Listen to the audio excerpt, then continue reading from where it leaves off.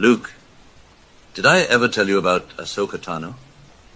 She was your father's exotic teenage alien apprentice, a fine piece of jailbait from a more civilized age.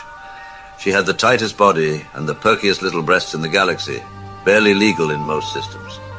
Anakin and I used to double team her at the end of every successful campaign during the Clone Wars, and once in a while we'd even have the entire 500 first run a train over her, part of official Jedi training, of course. In time, she learned how to handle a meat saber better than anyone in the Jedi Temple.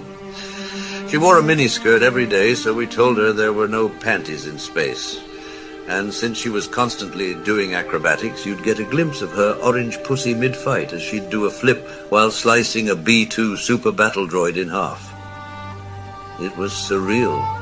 We taught her to grip her weapon backwards like a dildo, and she constantly got captured by pirates and slavers almost every other day. It was ridiculous, like a constant porno, Luke. You have no idea. And she was a good friend. Why didn't you tell me?